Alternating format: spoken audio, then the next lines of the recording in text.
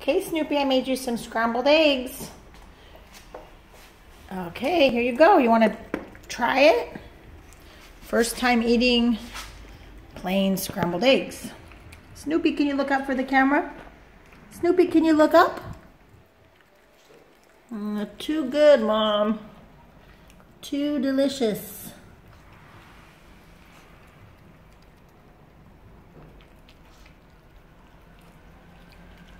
I would say scrambled eggs are a hit. I was a little short on his food, so I thought I would give him some egg.